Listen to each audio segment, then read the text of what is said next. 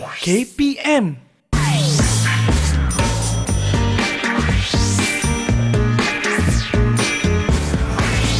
Didik TV KPM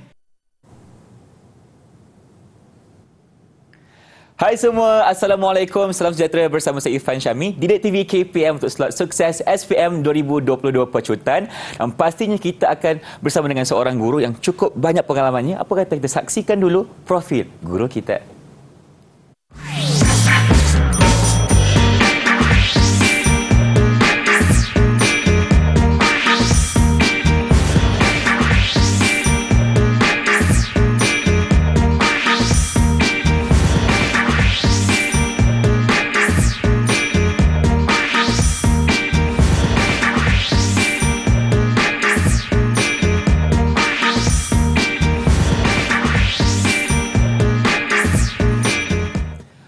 Baik, calon-calon SPM, hari ini kita akan ditemani oleh seorang jurubahasa isyarat. Ifa perkenalkan dulu. Cikgu Suhaili Abdul Ghani dari SK Pendidikan Khas Jalan Batu B, Wilayah Persekutuan Kuala Lumpur. Cikgu, apa khabar?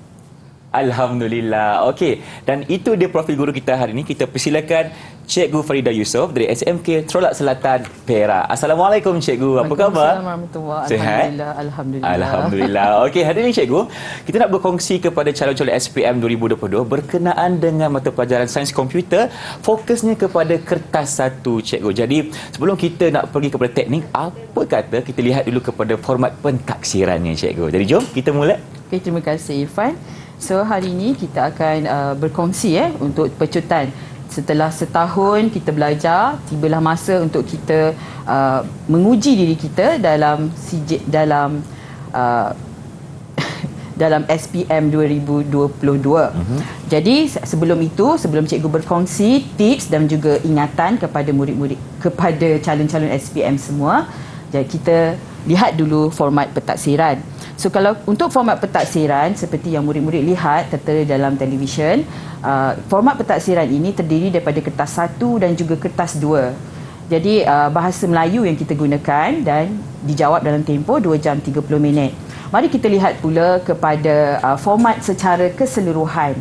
Okey, jenis instrumen yang diuji dalam kertas satu ini ialah subjektif. Mm-hmm. Ya, subjektif di mana murid-murid tak boleh nak mendadu ya iaitu nak baling dadu untuk jawab tak boleh. Tak jadi, boleh cikgu eh? Ya. Kena jadi tulis kena, jawapan. Ya, kena cari jawapan. Jadi maksudnya murid-murid kena betul-betul mahir, betul-betul faham dan tahu tips-tips dan tahu nota-nota pendek yang perlu digunakan. Okey, jenis item respon dia terhad untuk bahagian A, respon terhad untuk bahagian B, respon terbuka. Okey, respon terhad ni dia lebih kepada memahami dan mengingat.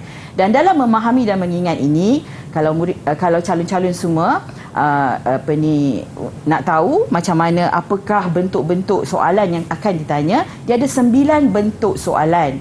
Dan soalan ini memang akan masuk lah tetapi kita tak tahu berapakah dia masuk berapakah jumlah soalan yang akan masuk kita tak tahu cuma bentuk-bentuk yang kita yang cikgu boleh kongsikan ialah antaranya dia akan tanya terminologi fakta simbol pengelasan urutan, kriteria, metodologi, prinsip, teori dan struktur.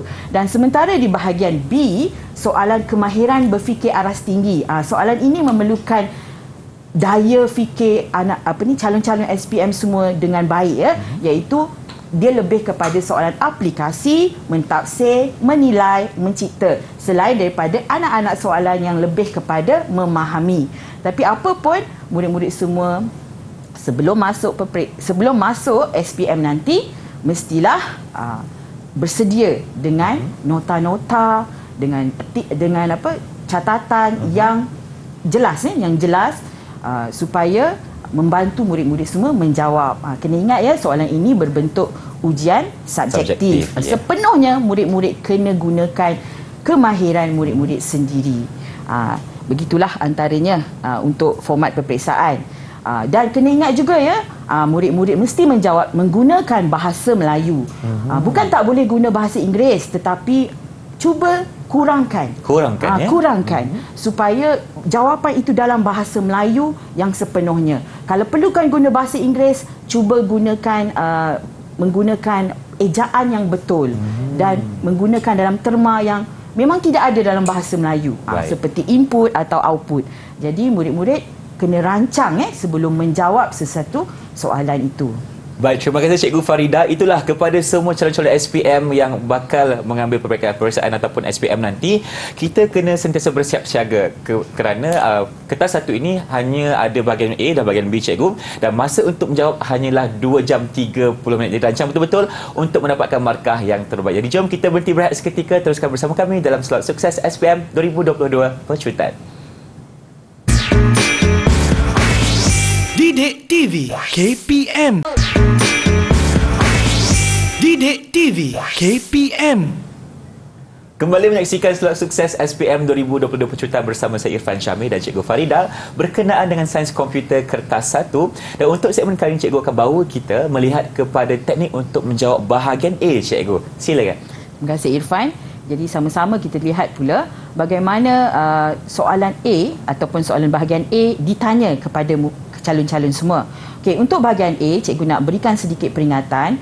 Penting ya untuk anak untuk calon-calon semua membaca soalan sehingga habis dan jawapan yang diberikan mestilah berkait dengan bahan rangsangan. Selain daripada itu, murid juga calon juga digalakkan untuk menggunakan pensel untuk lakaran ataupun melukis. Cikgu, salah ke kalau Ifan guna pen Cikgu? Bukan salah Irfan, tetapi kalau ada pembetulan, misalnya lukisan itu salah. Baik. Bah, macam mana nak baiki? Takkan nak Ah, guna ah. liquid paper kan? Betul Cikgu? Buruklah lukisan. Dah lah uh, ni soalan itu nanti akan ditanda oleh pemeriksa yang kita Ya. tak tahu macam mana penglihatannya. Mm-mm. Uh, jadi kita kena gunakan sebaik mungkin. Cadangan cikgu ialah lakar dulu guna pensel. Okey. Okey, secara apa? Secara sama, secara perlahan. Ha, bila kita dah sahkan jawapan itu, barulah kita lukis secara tebal, secara lukisan tebal. Tetapi lukisan gunakan pensel. Betul. Pensel, ha, pastikan sediakan dua atau tiga pensel. Ha, takut patah nanti kan satu, ada ada apa? Ha, ada dia punya extra dia. So istilah, okey. Jadi jika menggunakan istilah, Uh, calon-calon semua mesti gunakan istilah yang tepat. Tak boleh istilah suka hati. Uh, istilah suka hati tidak diterima pakai. Istilah mestilah yang ada dalam buku teks. Juga penerangan bila menerang mesti ada kata kerja. Tidak boleh sekadar men- menyatakan mesti ada kata kerja. Ha, ini pegang ya. So kita tengok dulu kepada soalan contoh soalan soalan contoh yang pertama. Okey, untuk soalan contoh ini nampak mudah. Berikut adalah maklumat tentang bahasa penskriptan. Program komputer dalam web yang dilaksanakan pada komputer pengguna. Bahasa yang digunakan ini adalah dia apa ni bahan rangsangan kepada soalan tersebut. Tapi apakah soalan ini nak tanya sebenarnya? Jadi kita tengok yang saya merahkan, yang cikgu merahkan itu, iaitu sebenarnya soalan ini nak tanya tentang bahasa penskriptan. Jadi penting untuk calon-calon semua membaca soalan sehingga habis. Okey, baca dari awal. Jangan seronok sangat nak jawab ni sebab nak keluar awal kan. Jadi uh, kita baca yang yang yang namakan bahasa penskriptan itu tanpa baca apakah bahan rangsangan yang diberikan. Jadi sebenarnya soalan ini nak tanya tentang bahasa penskriptan, diberikan fakta dan dia suruh namakan. Namakan bahasa penskriptan itu. Jadi bila nak namakan, ha, bagilah. Ha, kita tahu kan? Jadi buat catatannya kalau murid kalau calon-calon semua yang jenis mahir tu ha, boleh terus menaraikan. Bahasa penskriptan ada dua, klien server kan? Pelang, apa ni pelayan, pelanggan dan juga pelayan. Jadi jawab ha, yang mana sesuai berdasarkan bahan rangsangan. Ha, jawab dalam menggunakan ejaan yang betul. Okey. Uh, kita tengok pula kepada soalan contoh yang kedua. Soalan contoh yang kedua, berikut adalah segmen kod atau cara Java. Ha, ini calon-calon selalu demam kan. Nampak je soalan coding demam. Tapi sebenarnya coding tu mudah sebab dia akan beri dalam bentuk segmen-segmen. Bukan sepenuhnya. Jadi, jangan rasa tengok je coding tinggal. Ha, baca dulu ya, baca dulu dan lihat oh rupanya dia nak tanya A. Dia dia buatkan apa uh, uh, garis dot dot dot tu dia tanya A dan nyatakan tujuan penyataan A. Calon-calon majoriti calon-calon akan menjawab oh mudah ni ini komen. Uh-huh. sebab ini adalah fakta kan komen. Ya betul. Tetapi calon-calon cuma kena baca soalan. Nyatakan tujuan penyataan A. Bila tujuan penyataan A kita kena nyatakan tujuan dia. Jadi tujuan dia untuk apa? Bukan untuk komen Komen tu apa? Komen tu sekadar menyata. Jadi kita buat menulis komen ataupun menyatakan komen. Bertujuan untuk apa? Boleh dijadikan rujukan pengatur cara hmm. ataupun yang setara dengannya. Maksudnya kita menjawab berdasarkan bahan rangsangan yang diberikan. Okey. Uh, soalan yang kedua pula, nyatakan satu pemboleh ubah. Bila saat nyatakan satu pemboleh ubah, uh, calon-calon melihat oh ada banyak ini. Jadi bolehlah saya jawab satu. Saya akan jawab integer tapak sama dengan 6 tapi calon-calon kena faham soalan. Nyatakan satu pun boleh ubah. Maksudnya dia nak satu pun boleh ubah. Jadi calon bagilah satu. Ha, dan nama pun boleh ubah. Bukan sekali dengan jenis data atau juga nilai okey? Kalau ada int tu ialah jenis data yang ada 6 tu adalah nilai. Dia nak pun boleh ubah. Jadi dia nak nama sahaja. Jadi calon berikanlah nama sahaja ha, tapak tinggi ataupun luas satu saja ya. Okey kemudian kita pergi kepada soalan contoh yang ketiga.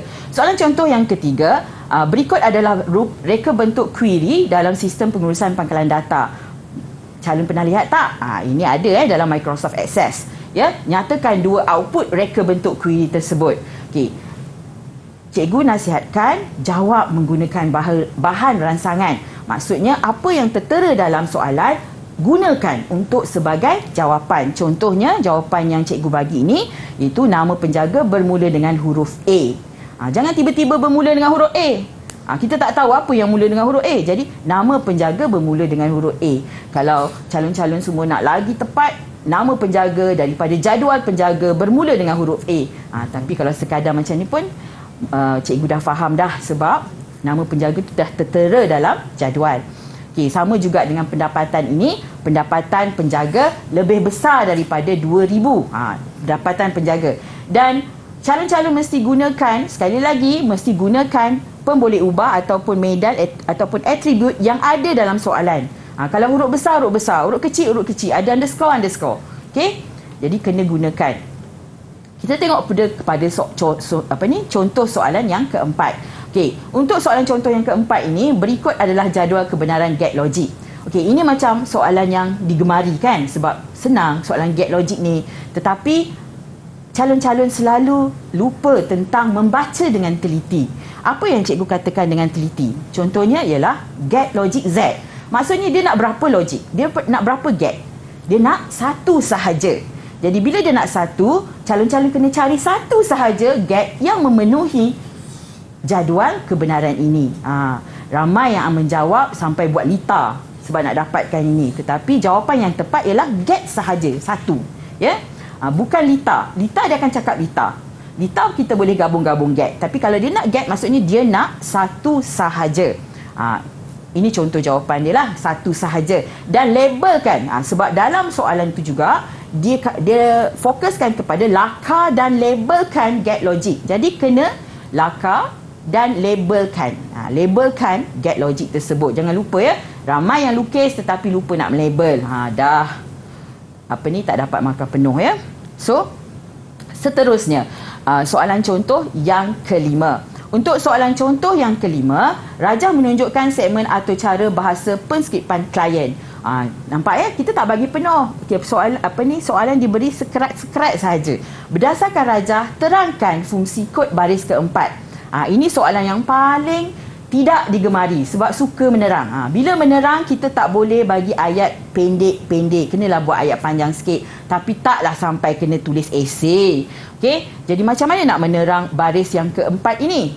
Ha, cara terang dia macam ni. Ha, eh, mudah je. Ha, cikgu nak beritahu ya. Ada tajuk kat situ. Contoh menjawab kurang tepat. Ha, boleh memang betul mengisytihar senarai. Kalau kita cakap biasa-biasa dengan kawan-kawan, bolehlah mengisytihar senarai. Tetapi kita nak menjawab soalan peperiksaan. Kita kena anggap uh, orang yang membaca jawapan kita itu tidak faham. Jadi kita kena terang mengisytihar tata susunan. Sebab dia jenis tata susunan kan? Bernama, nama murid kena ada nama. Dan ini yang selalu calon-calon lupa iaitu menyatakan jenis data berjenis string atau dalam bahasa Melayu dia rentetan. Ha, boleh gunakan dua-dua istilah. Okey seterusnya kita pergi kepada contoh soalan contoh yang keenam. Ha, ini berkaitan dengan jenis data. Okey dalam jenis data ha, biasanya murid-murid akan jawab nyatakan jenis data bagi nama contohnya. Ramai yang akan jawab Vaca. Cikgu tak tahu datang mana idea Vaca. Mungkin datang daripada pangkalan data kan? Tetapi murid-murid kena faham, jika soalan itu tiada kaitan dengan pangkalan data, Vaca ini tolong elakkan. Tolong elakkan. Kalau ada pangkalan data sahaja kita guna Vaca. Itu pun sebenarnya dia jenis string. Vaca ni sekadar dia punya nama untuk kita istiharkan dia dalam pangkalan data. Okey? Jadi jawapan yang paling tepat ialah string ataupun rentetan. Ha, string ataupun rentetan dalam bahasa Melayu. Ha, tak kira lah guna Java ke JavaScript ke, ha, string ataupun rentetan. Ha, sama juga nombor kad pengenalan, ha, ramai yang akan menjawab integer sebab dia nombor. Tetapi calon-calon kena perhatikan secara keseluruhan datanya, dia ada dash-dash. Bila ada dash-dash bermakna dia bukan lagi nombor tetapi adalah rentetan. Okey, umur, umur confirm lah integer. Ha, tapi ramai juga yang akan menjawab INT. Ha, INT adalah nama dalam nama dalam atau cara. Okey, tetapi kalau kita nak jawab, kita kena jawab dalam uh, perkataan yang penuh. Integer. Dan penerima beasiswa. Ha, ya, ya. Kan? Bila ya, kita terfikir tidak kan? Jadi kita pun jawab boolean. Ha, boleh boleh diterima sebab dia ada dua nilai ya atau tidak. Selain daripada itu, kita kena uh, boleh juga dijawab dengan string. Uh, sebab ada juga string ya untuk ya tidak. So macam mana? Boleh dapat tak untuk uh, bahagian A? Uh, sebelum cikgu terlupa untuk bahagian A juga uh, masa cadangan untuk menjawab adalah 60 minit. Satu jam cikgu uh, ya 60 minit, satu hmm. jam. Cikgu yeah. terlupa satu jam tu 60 minit. Okay. Dan masa yang diberikan untuk keseluruhan kertas itu adalah 2 jam 30 minit. 2 jam ya? 30 minit hmm. masa menjawab cadangan. Ya, cadangan. Yeah, cadangan. Jadi jangan lebih lah. Sebab Betul. kalau lebih nanti masa untuk bahagian B nanti kurang. akan, akan kurang. Uh-huh. Sebab bahagian B ni mencabar. Ya, yeah, uh, kena kita pandai akan... kita aturkan masa cikgu. Yeah. Ya. Terima kasih cikgu Farida.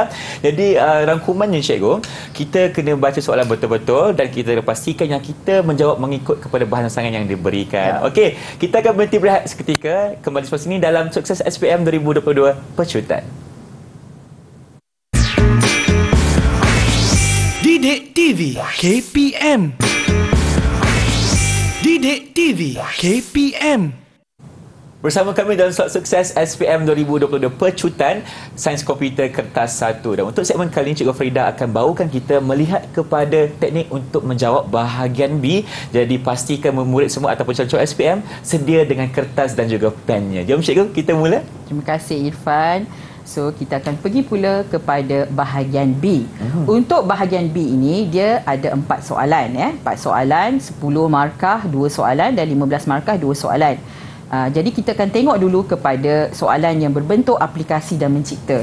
Okey, cikgu soalan ini berapa markah? Cikgu pun tak tahu berapa markah yang akan keluar. Tapi bentuknya begitu ya, 10 10 15 15. Uh, tapi di mana duduknya saya pun tak tahu. Jadi bahagian B aplikasi dan mencipta. So baca soalan sehingga habis. Tu memanglah petua. Petua saya. Ha, saya tak ada petua lain. Ada yang cakap cikgu boleh tak tengok tunjuk yang mana penting? Tak ada ada yang penting. Semua penting. Okey. Jawapan mesti sekali lagi mesti berkait dengan bahan rangsangan. Okey. Lukisan lakaran gunakan pensel dan istilah pun mesti tepat. Ini adalah panduan untuk semua bahagian sebenarnya. Tetapi cikgu kena ingatkan sebab murid-murid selalu uh, kepada um, untuk menjawab soalan uh, lebih kurang uh, dalam jawapan yang paling ringkas. Untuk B kita kena panjangkan sikit ayat, kita kena buat huraian sedikit. Okey. Contoh soalan eh, contoh soalan iaitu soalan yang ketujuh. Okey, diberi bahan rangsangan. Uh, untuk bahagian B semua soalan biasanya ada bahan rangsangan. Dia tak ada jawapan, dia tidak ada ayat semata-mata. Dia ada situasi ataupun dia ada bahan bergerak rajah ya kena uh, dia memang ada. Jadi calon-calon kena fahamkan dulu apa rajah tu nak sebenarnya. Okey ini tentang homestay. Sewa homestay uh, satu malam 250 dua malam seterusnya akan mendapat diskaun 10% uh, hubungi sekian-sekian FB sekian-sekian Instagram sekian-sekian. So soalan dia lakarkan carta alih atau cara bagi mengira bayaran penginapan di homestay Wah, senang ni. Atur cara lakar carta alih. Senang ni. Ha, jangan sibuk dengan carta alih itu. Sibuk dulu dengan apakah point penting. Apakah perkara penting yang nak disuruh pada soalan tu. Ya? Kita tengok iaitu dia nak lebih kepada bayaran penginapan. So untuk bayaran penginapan iaitu kita lebih kepada satu malam 250, dua malam seterusnya diskaun 10%. Ha, jadi hubungi FB Instagram tu tak berapa penting. Ha, ini kita gunakan teknik peniskalaan ya. Teknik peniskalaan itu kita buang benda yang tak penting, kita ambil perkara yang penting. Jadi perkara yang penting di sini ialah bayaran penginapan. Jadi kita fokus kepada itu untuk menjawab. Nah, bukan secara keseluruhan semua kena jawab ya. Kita tengok kepada uh, dia punya bahan rangsangan. So soalan dia kata uh, bayaran penginapan. Jadi bayaran penginapan uh, Sebelum nak lukis carta alih, cikgu cadangkan IPO tu jangan ditinggal. Ha, IPO tu apa? Ha, iaitu input, proses dengan output. Ha, memang nampak macam, eh cikgu dalam kepala saya je ni. Lakar untuk keselamatan. Sebab kita ada masa untuk bahagian B, cadangan masa ialah 1 jam 30 minit. Ha, kita ada masa lebih kurang 90 minit untuk menjawab. Jadi, sempatlah nak buat lakaran ya. Lakarkan dulu IPO, Okey, jadi kita akan dapat benda-benda penting. Ha, perkara-perkara penting. Apa yang penting dalam soalan? Bayaran. Untuk bayaran apa yang penting? Bilangan bermalam, diskaun dia, satu malam. Okey. Ramai yang uh, cakap cikgu IPO ni kan cikgu kalau yang umpuk-umpuk tu IPO ke cikgu? Ya, termasuk dalam I eh, dalam input. Input bukan bermaksud kena buat uh, bentuk serong semata-mata tetapi apa saja data-data awal kita letakkan di input. So, proses. Okey, proses yang terlibat. Kalau ada tujuh proses, letak semua tujuh-tujuh proses dalam uh, proses. Tapi di sini ada dua proses sahaja. Pertama, kira diskaun. Okey, kira diskaun. Uh, ada yang buat uh, teknik uh, seterus. Dia teknik uh, apa ni? Formula terus. Sebab dia cekap matematik kan. Cikgu, matematik uh, dalam uh, dalam ini dia beri tak uh, formula untuk kira diskaun? Tidak. Uh, jadi calon-calon juga mesti juga mahir perkara-perkara asas dalam matematik seperti mencari purata, mencari diskaun, mencari komisen, ah mesti tahu ya. Ah mencari luas, ah, mesti tahu. Ah sebab benda itu memang lazim digunakan sejak daripada tingkatan satu. Jadi dia boleh tanya perkara ini walaupun tanpa formula. Ah jadi kena hafal sikit ya. Okey, hafal dan kena gunakan formula tersebut ke dalam carta alih nanti.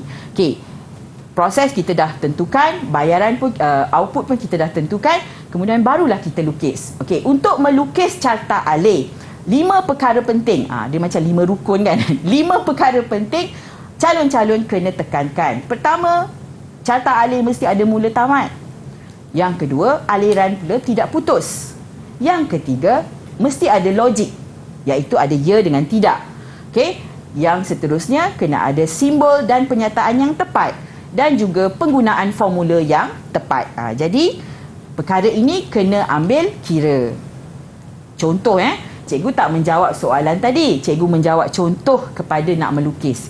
Kalau calon-calon semua lihat, lukisan cikgu ni macamlah perfect kan? Macam sempurna. Tetapi ada kekurangan. Apa kekurangan dia? Ha, bagus. Ada yang calon-calon dah nampak ya. Iaitu carta alih ini tidak bersambung dia tergantung. Jadi cuba elakkan daripada tergantung seperti ini. Okey? Pastikan dia bersambung.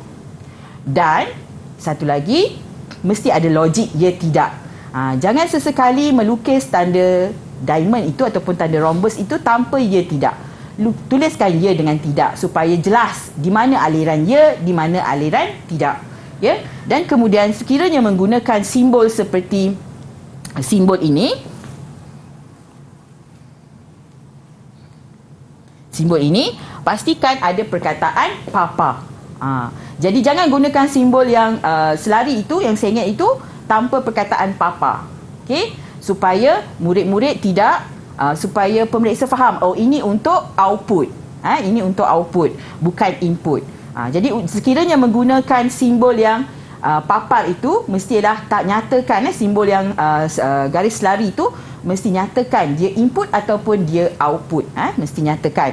Okey kemudian terus pergi kepada soalan seterusnya iaitu sekiranya soalan dalam bahagian tersebut bertanya mengenai skema hubungan. Okey skema hubungan dia dikendaki menghasilkan skema hubungan yang ternormal. Jadi calon-calon buatlah ha, saya percaya calon-calon semua hebat dalam melaksanakan penormalan ini tetapi uh, calon-calon kena ingat untuk melukis skema hubungan, pastikan nama jadual dinyatakan. Okey, nama jadual dinyatakan, Atribut kena lengkap. Ha, jadi tolong kira atribut tu. Takut su- suka sangat nak menulis sampai terlupa nak tulis atribut. Sampai tertinggal satu atribut. Dah hilang ha, markah. Jadi pastikan atribut itu lengkap. Dan kunci primer ditanda dan pastikan ada kunci asing jika jadual itu ada hubungan. Ha, yang ini murid, uh, yang ini calon-calon selalu lupa. So seterusnya macam mana nak jawab? Ini contoh soalan atau contoh menjawab yang kurang tepat iaitu berjaya membuatnya dengan cantik, ada dah atomik semua tetapi terlupa nak tanda kunci primer dan juga tiada nama jadual. Ha, adakah hilang markah cikgu? Ya, pastinya hilang markah. Tapi berapa cikgu pun tak tahu. So penginapan. Penginapan ini nama dia ha. Yang inilah yang calon-calon selalu lupa ya. Penginapan dan tandakan kunci primer yang sesuai. Eh? Kunci primer yang sesuai. Tandakan tu cik boleh gunakan solid line, garis lurus ataupun gunakan uh, tanda KP ataupun PK. Eh? KP kunci primer, PK primary key. Okey. Seterusnya, sekiranya lukiskan ERD pula. Okey, untuk melukis ERD, lima perkara kena diambil kira. Ha? Diambil kira dan dititik beratkan. Iaitu perkara yang pertama, entity. Atribut, hubungan, kekardinalan dan kunci primer. Bila melukis ERD, lima perkara ni semak. Okey, bila dah lukis-lukis-lukis, semak balik lima ni. Cukup ke tidak? Okey, pertama, entity. Mesti ada hubungan. Okey, entity jangan bertukar. Entity simbolnya begini. Okey, simbol empat segi tepat, hubungan dan kemudian pastikan atribut. Atribut. Sekiranya soalan itu lebih kepada mencipta, biasanya calon-calon dikendaki melahirkan atau mengeluarkan atribut sendiri yang bersesuaian, yang logik. Jadi pastikan setiap entiti cadangkan dua atribut sekurang-kurangnya. Dua atribut sekurang-kurangnya, atribut yang logik dan uh, tanda bujuk. Okey, kemudian uh, pastikan tulis juga kekardinalan one to many, many to one, one to one berdasarkan kefahaman calon-calon semua dalam soalan. Dan sekiranya hubungan itu ada atribut, ha, pastinya hubungan dia ialah many to many.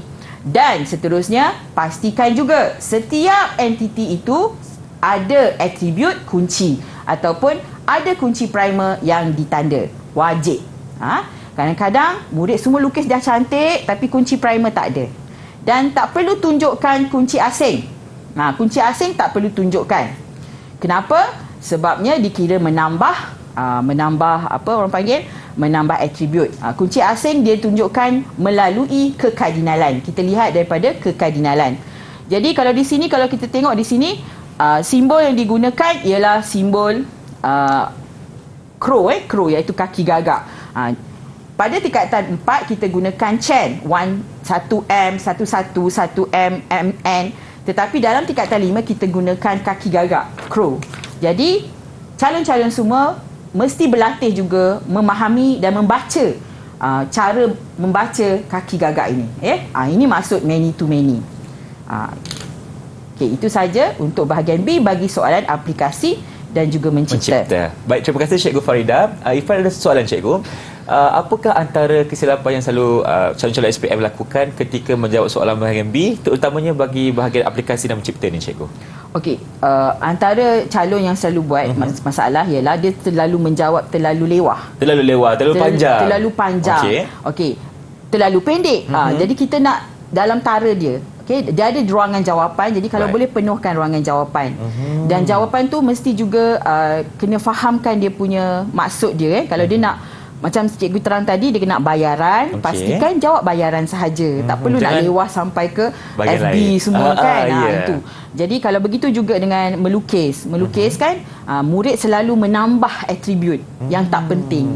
Ha, jadi kita ambil atribut yang penting sahaja. Ha, macam Baik. tu. Okay. Contohnya cikgu kalau tadi cikgu cakap berkenaan dengan atribut tu kan, kalau mereka tambah-tambah tu cikgu, adakah markah akan ditolak ataupun maka akan diambil dengan jawapan yang mereka berikan yang betul tu cikgu. Uh, biasanya bila kita menambah, uh-huh. kita akan mengubah jawapan. Betul, setuju. Bila mengubah jawapan ke, lebih kepada jawapan yang sangat kur, yang kurang tepat. Yang kurang tepat. Jadi sudah tentulah Ya. yeah. markah kan. Ha, Betul begitu. cikgu. Jadi kita pun dah faham sekarang ni kalau untuk menjawab soalan bahagian B ni istilahnya kena tepat cikgu dan tak perlu juga untuk kita panjang-panjangkan ayat kan sebab kita hanya perlu memberikan jawapan apa mengikut kehendak soalan cikgu. Dan jangan lupa Mhm. mm-hmm. bila ada sebab soalan ini mesti ada soalan memahami. Betul. Anak-anak memahami. Ya. Jadi bila soalan yang memahami itu nanti murid uh, calon-calon mesti menjawab menggunakan ayat yang ringkas, mm-hmm. yang padat dan juga menjawab bahan ransangan. Okey, itu jangan tips dia. jangan uh, jangan terlalu apa melihat soalan Mhm. kemudian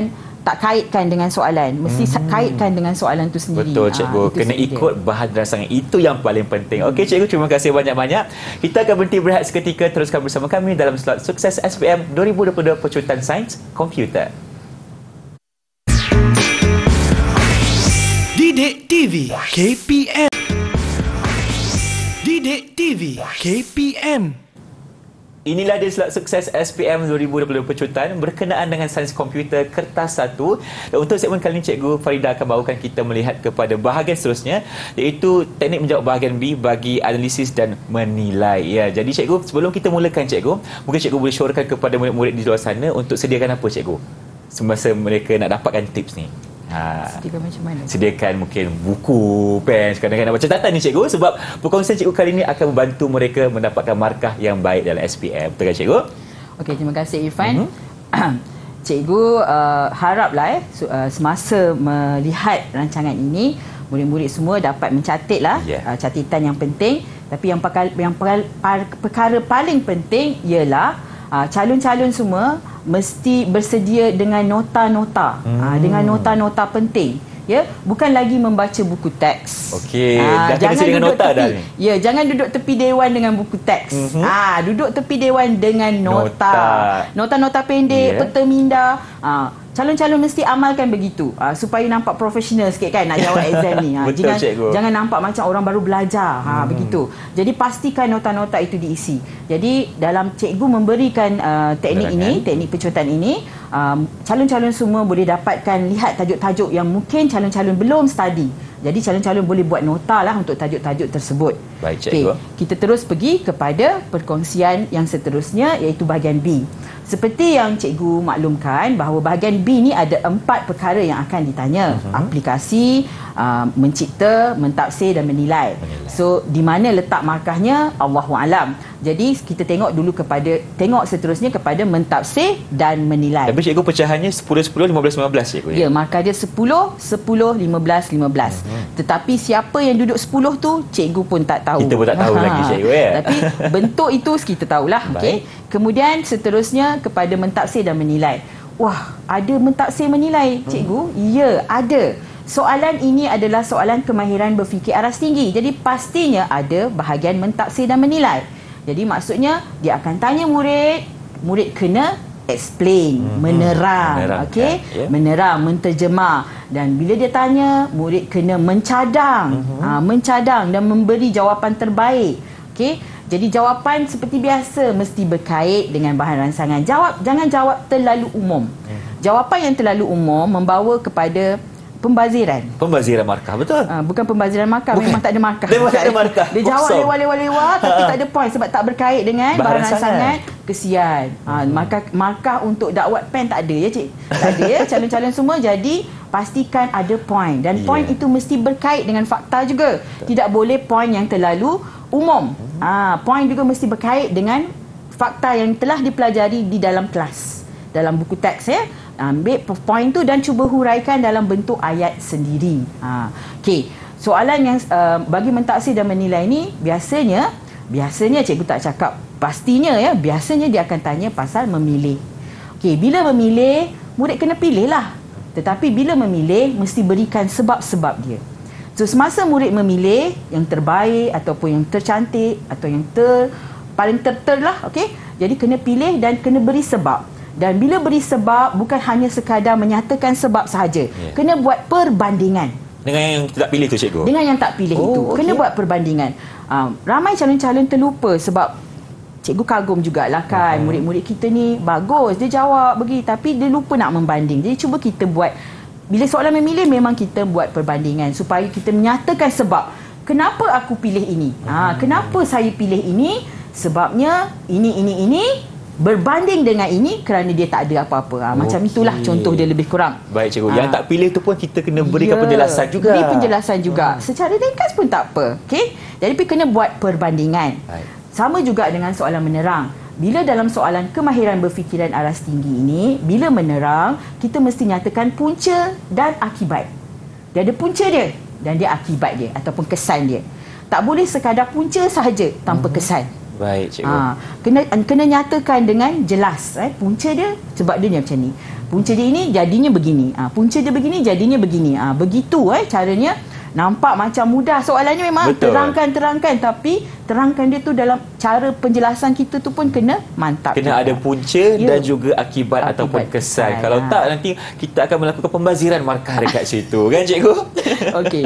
Uh, seterusnya, okey sekali lagi ya cikgu Ya. pergi kepada memilih. Uh, jika soalan ada memilih ataupun dia tanya yang terbaik, dia cuba cari yang terbaik. Jadi uh, calon-calon pilihlah. Uh, pilih tu mesti. Uh, jangan pula uh, cerita-cerita-cerita sebab lupa nak pilih. Pilih tu mesti. Pilih tu adalah markah yang diberi. So beri sebab yang kenapa calon pilih perkara itu dan kena bandingkan dengan pilihan yang tidak dipilih seperti yang cikgu nyatakan tadi. Okey. Contoh dia ya. Ha, mungkin ada calon-calon yang dah biasa lihat gambar ini. Gambar ni ada dalam buku teks. Ha, boleh tengok. Pilih jalan yang terbaik untuk dilalui dan berikan justifikasi anda. Biasanya calon-calon akan pandai memilih. Dia akan pandai mencadang. Biasanya cikgu eh. Biasanya kan dia pandai. Tetapi bila memberi sebab calon-calon selalu terlupa. Nak beri sebab pasal apa? Nak beri sebab dalam faktor yang macam mana? Okey. Dalam apa kesnya kan? Jadi ini cadangan cikgu. Apa ni calon-calon boleh bagi cadangan yang sesuai yang logik eh. Uh, untuk untuk jarak ini kita biasanya kita lebih kepada kos sumber dan masa. Jadi calon-calon boleh huraikanlah secara kos. So macam mana nak huraikan? Cuba kita lihat. Um, pertama, seperti yang cikgu terangkan untuk segmen yang sebelum ini iaitu kena rancang apa nak jawab. Ah macam ap- macam catat hari tadi kita buat IPO kan. Betul. Kalau yang ini kita rancang dulu apa yang kita nak jawab. So pilih jalan yang terbaik. Nak pilih jalan yang terbaik mesti nyatakan beberapa pilihan. Ha, bila beberapa tu takkanlah satu kot kan. Itu bukan beberapa. Jadi nyatakan beberapa pilihan. Jalan A, jalan B, jalan C. Okey. Okey. Itu yang pertama. Kemudian pilih yang terbaik. Ha, so bila nyatakan jalan A, B, C tu kena nyatakan apa ciri-ciri jalan A, apa ciri-ciri jalan B, apa ciri-ciri jalan C. Kan? Dan kemudian pilih yang terbaik. So masa memilih yang terbaik tu cuba bandingkan. Okey, contoh je. Katakanlah calon memilih jalan B. Saya pilih jalan B kerana okey, jalan B sekian kerana masanya singkat berbanding jalan ah jalan apa? Jalan yang tak singkat, jalan A atau jalan C. Ah boleh bandingkan kedua-dua atau boleh bandingkan salah satu. Okey, atas faktor-faktor tertentu. Baik, Jadi cikgu. sama juga dengan kos sumber, sumber mungkin uh, penggunaan kenderaan kan, uh, masa mungkin mengambil masa. Uh, jadi itu contohnya. Okey, ini daripada soalan memilih. Soalan memilih lain yang boleh ditanya ialah tentang soalan skema ternormal. Okey, skema ternormal uh, dia akan bagi skema dan dia suruh dan dia tanya uh, skema mana yang terbaik. A, B atau C cikgu eh? Ah, jadi pilihlah A, B atau C. Okey. Pilihlah satu. Saya pilih B contohnya. Bila saya pilih B, kena jawablah. Berikan justifikasi. Okey, berikan justifikasi itu bermaksud berikan sebabnya. Kenapa anda pilih. So, berikan sebab anda pilih itu, kita boleh ulas kalau soalan skema hubungan, kita boleh ulas daripada segi kebergantungan fungsi. Sepenuh, separa, transitif. Ha, calon-calon goreng lah macam mana pun kan. Ha, goreng dalam bentuk yang fakta yang tepat lah. Ha, sepenuh tu di mana, separa tu di mana, transitif tu di mana. Dan jangan lupa juga kunci primer dan juga kunci asing Asing. jika ada. Ha, jadi ulas. Ulaslah macam mana pun pastikan ingat setiap ulasan satu ulasan satu point mesti ada perbandingan barulah kita ada poin yang kedua. Ah. Baik, cikgu. Jadi kita senang nak tahu ulasan tersebut. Cikgu, poin yang cikgu berikan dekat slide ni cikgu yang kebergantungan fungsi sepenuh semua ni adakah diberikan dalam uh, SPM ataupun yang ini cikgu berikan contoh huraiannya cikgu? Uh, contoh huraian. Contoh huraian, Maksudnya okey. uh, calon-calon Apa faktor yang boleh gunakan, Calon-calon boleh gunakan uh, poin penting ini Okey. untuk menghurai bila melibatkan soalan yang melibatkan skema hubungan. Hmm, Jadi mereka perlu bandingkan cikgu dalam ke enam-enam uh, elemen ni cikgu ya. Okey, ada lagi satu faktor sekiranya soalan tu bertanya tentang pengatur caraan. Pengatur caraan baik. Ha, kan? Mungkin dia akan bagi A, B, C pengatur caraan. Jadi apakah uh, yang boleh kita ulas kalau daripada segi peng, uh, pengatur caraan? Kalau pengatur caraan biasanya kita ulas daripada segi amalan terbaik dalam pengatur caraan. Okey. Amalan terbaik dalam pengatur caraan seperti uh, memberi komen, uh-huh. okey, menggunakan pemboleh ubah yang terbaik, uh, menggunakan jenis data yang sesuai. Uh, kita boleh ulas daripada segi itu. Baik, Sebab cikgu. Kebanyakan murid kebanyakan calon dia tahu nak jawab tapi dia tak tahu poin apa yang patut ditekankan mungkin bila melibatkan beberapa topik penting ini. Jadi cikgu cuba bawa untuk kamu huraikan sendiri tetapi berdasarkan poin-poin yang cikgu sebut tadi. Baik, cikgu. Terutamanya soalan yang melibatkan uh, penormalan. Bila melibatkan penormalan, skema hubung uh, kebergantungan fungsi separa, sepenuh, transitif itu tak boleh lagi lah. Memang kena ulas. Memang kena ulas, kena Memang kena bandingkan ulas cikgu. ber, uh, berdasarkan hmm. faktor yang diberi. Okey. Jadi uh, seterusnya kita terangkan pula uh, soalan yang bahagian menerang. Uh, tadi Okey, kita memilih kan. Uh, sekarang kita menerang. Menerangkan pula. Okey. Untuk menerang uh, perkara ini paling penting lah. Kena baca. Soalan dia panjang ya. Soalan dia akan satu muka surat tu saja soalan dia. Oh, okey. Jadi Uh, calon-calon bacalah lihatlah rajah yang sesuai cuba fahamkan masa ada ya masa 1 jam 30 minit uh, katalah dah habis separuh dekat uh, aplikasi tadi separuh lagi di soalan menerang Baik. so bila menerangkan okey perkara yang paling uh, di, diutamakan ialah tentang kata kunci tu terangkan terangkan tiga prinsip jadi fokus kepada tiga prinsip itu tiga prinsip yang tidak memenuhi yang tidak memuaskan hati Pelanggan. pelanggan. Okey. Jadi kemudian dia suruh cadangkan tiga penambahbaikan. Oh, okey. Ada dua soalan kat sini cikgu ya. Dua soalan kat sini. So semasa menerang, okey, pertama kena terang. Macam yang kita maklum tadilah, Baik. iaitu bila menerang kita kena bagi punca dan juga kesan. Eh, punca dan juga kesan. So untuk menerang pastikan guna teori yang dipelajari. Okey, apa teori yang dipelajari? Yang dibelajar dalam buku teks lah. Okey, yang dipelajari dalam buku teks. Penting juga gunakan teori, jangan terlalu umum, jangan jawab terlalu umum. Misalnya tak baca kan ha, Lupa nak baca. kan lepas tu goreng yang bukan-bukan ha, tak boleh juga ya kena gunakan teori yang dipelajari Okey. iaitu kesan tu datang dari pendapat dan kesan pula datang dari pendapat Sendiri. sendiri, ha, Tapi kena relevan lah. calon ya mesti relevan Mm-mm. kan takkan uh, ulas A uh, j- jawabnya C kan? Betul. jadi ulas biar berkaitan biar relevan. Okey. Dalam konteks ini cikgu tak nak nak tak boleh nak kata apalah. Kamu kena banyak membaca. Ha, banyak membaca dalam topik-topik ini ya. Banyak membaca. Dan sekiranya calon dikendaki memberi cadangan. Ha, cadangan ni memang tak lepas okey? Cadangan calon mesti beri cadangan berdasarkan soalan. Dia kata berdasarkan soal berdasarkan soalan A uh, berikan cadangan. Jadi cadangan itu mesti berkait dengan apa yang calon jawab sebentar tadi. Ah, Okey. jangan calon jawab A, cadangannya C. Ha, jadi tidak sesuai, Tidak berkait eh. tidak berkait. Jadi mesti beri cadangan yang relevan dengan soalan. Ha. Okey cikgu. Uh, soalan ini uh, tajuk ini menerang ni nampak sangat mudah Hmm. ya tetapi inilah juga yang selalu murid uh, calon cuai eh cuai dalam menjawab terutama dalam menerang. Baik cikgu. Ah, bila terang-terang-terang lupa nak bagi kesan. Itu yang faham cikgu sebab untuk jawab soalan yang menerangkan ni cikgu pertama sekali kita kena gunakan teori yang kita belajar dalam buku Ya. teks lepas tu kita kena cuba untuk berikan kesan dan Kaitkan juga dengan cadangan soalan dulu. betul kaitkan Kaitkan dengan dengan soalan, soalan. dulu tapi itu bukan ada dalam buku teks lah maksudnya kita kena beri Ya. pendapat kita sendiri Pendapat kita sendiri. ah, faham Kesan cikgu. ke sendiri. Tapi kalau tak banyak membaca, tak ada Ah, idea tak ada lah. idea nak Ah, jawab kan? Ah, jadi kena membaca juga. Nampak eh? Nampak di sini ya, soalan kemahiran berfikir aras tinggi dia lebih kepada kemampuan murid mengolah ataupun mengeluarkan idea uh, calon-calon sendiri. Uh, sebab dia nak tengok calon ni pandai ke pandainya level mana. Ha Ah. macam tu. Okey, itu cikgu berkenaan dengan soalan menerangkan cikgu. Tapi kita nak berbalik sedikit kepada bahagian memilih tadi cikgu. Uh, mungkin cikgu boleh berikan tips macam mana dia nak buat pilihan yang terbaik tu. Maksud saya cikgu, mungkin dia ada tahu beberapa uh, elemen penting untuk soalan tu tapi dia tak tahu keseluruhannya. Jadi macam mana kita nak pilih so- jawapan yang terbaik? Ha, itu Ah, soalan saya.